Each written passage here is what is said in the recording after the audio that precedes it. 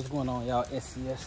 Another one. I started a video before this, but hold on, hold on. Steve Davis underscore CG is my only Instagram. Steve is the only one authorized to receive any payments for SCS. SCS is located in Georgia, Riverdale, Georgia. No other state, no other city. All right. Now, I started another video before I started recording this, but I completely forgot I was recording a series. And I'm gonna continue it on for y'all tomorrow. But it's about the other shop. Man, this month sometime putting up my two four post lift, doing my garage track conversion. I'm making sure I get myself some time, cause I ain't been get myself some time. So alright man, so turned uh, everything off and tested it and I ain't get nothing. Pressed the reset button, nothing. So yep, the motor is out. So I took the back cover off, rolled it, everything rolling. Everything rolling fine like it should. I'm hoping I don't have an issue with these uh, pieces coming out thank you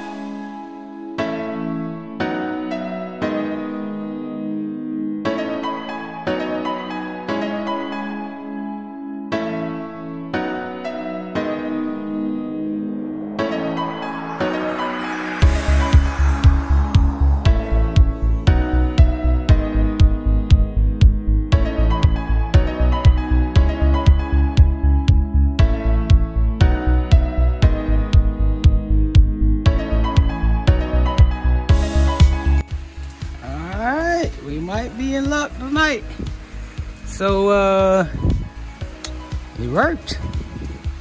Now, see if it fit on here.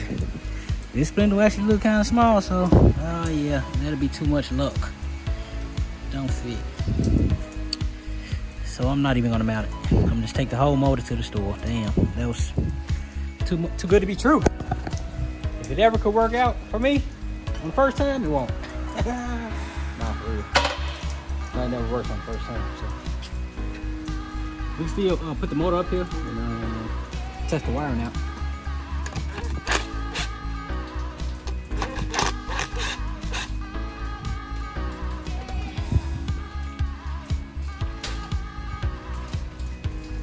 New motor, new motor, new motor.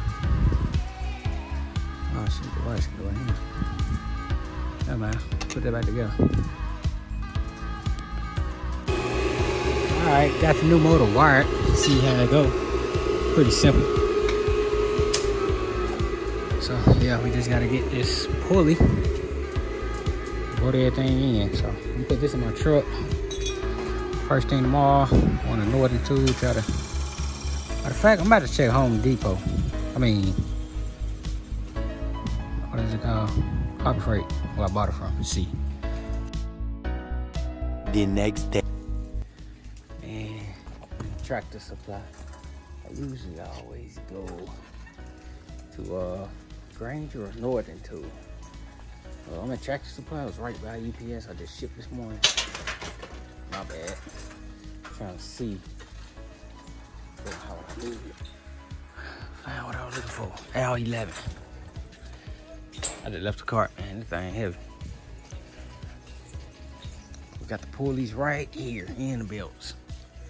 So let me match up what I need with what I got. And then uh, hopefully we make something happen. Take it back home and take that other air compressor back to the big shop. So let's see. All right, the first pulley I grabbed, it was a five ace and a three ace. Five ace, five ace. And it worked. Slipped right on. So got that. Then uh, the belt that I had was uh 48 inches. So I had to grab a 47 because put these boys side by side. The new pulley is a little smaller, so and then the belt was kind of loose. So we uh, drop an inch. Hopefully we should be good. But now that I know that I got a half inch by 48, and I'm going to a half inch by 47, whatever I got, man, I can just make it work. So about 40 bucks, and we have some air again. Thank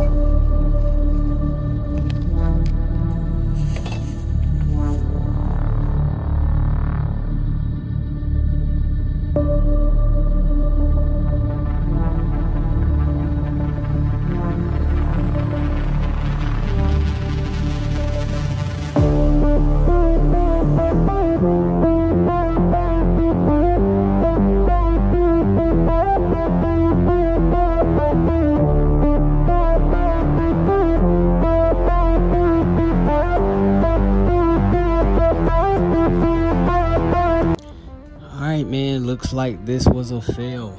This uh motor is too small.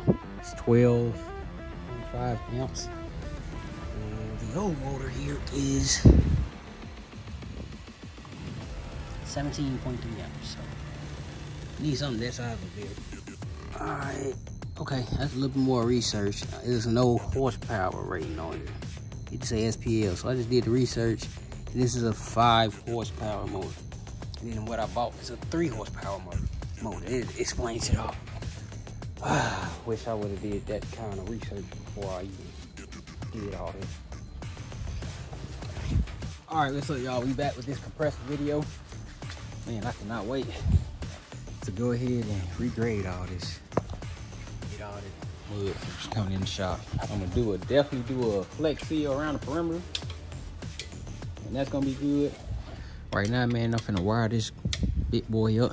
It's five horsepower up. And we'll have some air here, so I don't have to be moving these compressors back and forth. Uh, I'm trying to make sure I'm finna have everything together right. Boom, boom. Boom, tighten all that up.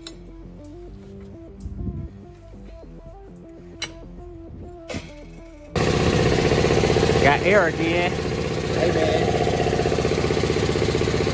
It's, it's definitely a lot quieter than it was. And I know what that squealing is next time too. If your air compressor squeal, hold on. Your air compressor squeal just because the belt is bad or the belt is loose. My belt was real loose. I didn't know why I was squealing, but that was why I was squealing. But let me see something while I'm over here. I'm saying I'm building me a little wood house with some sound that never going. Oh yeah, this ain't bad. It's way quieter than what it was. And it's already on the other side of the deal, so it ain't gonna be too bad once I put that cover over it. Yeah, that's definitely not bad. But when I was in the, the house garage with it, and my other house garage with it, a smaller area, so oh, shit, it was loud. Still might buy another one though. Another uh, 60 gallon used. With, uh, that small 26, 20, whatever it is. It's like that thing cut on every 10 minutes. This one cut on that often. I need to buy two new hoses. I need to put the hoses along the wall because drive over it, walk over it, do anything to these hoses. These came from uh, Home Depot, these reels. They are trash, man. Never had issues with two hoses at once when I bought them at the same time, ever. So, take this one.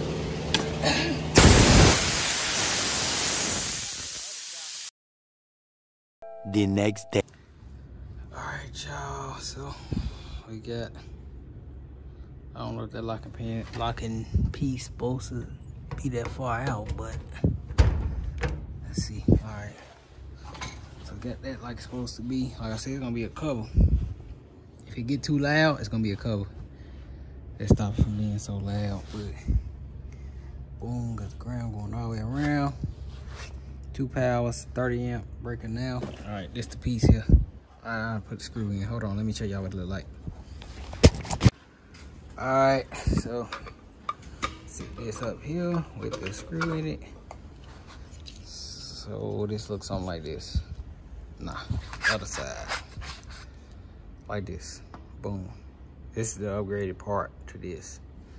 So you got a positive, positive, negative, I mean, both positive, double positive. So white, white, black, black. This is on off switch. I guess it came with an on off switch, but this is how I got it, like just like that. I got it just like that. Yeah, ain't had no water spots in there from sitting outside, but it was just like this. Um, this thing messed up once to where it wouldn't cut off, and I split these two spring pieces apart and adjusted some stuff. I don't even know what I did, but I made it to where it cut off because I mean it was hitting like 150 psi, and it usually cut off at like 140, but I made it to where it cut off and it was working again but yeah definitely time to put this on i gotta do my research and make sure i do all this right because i don't know how this piece right here go on a plastic hose, but I don't know if I just cut the hose and stick it in and it just lock itself because it look like a locking. Hold on, let cut the light on. Yeah, it look like something that lock on it. It's right there, y'all see it, but I don't know. And I bought this piece about three years ago, so I can't find the instructions on eBay from the part number. But uh, I'm gonna go in the box and hopefully it's a part number. Hopefully it's a part number in this box somewhere. This is a filter for a paint gun uh, water separator. Fish eye filters. That's what that is. Oh yeah, so the whole thing in. Yep, yep, yep, yep. So I'm gonna take some pictures of this and make sure everything working. And this is QAQC. Y'all see how long ago I bought this? 2019.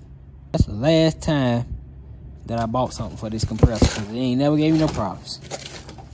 But uh, it'll work for right now, but I just can't use it continuously till the switch get fixed.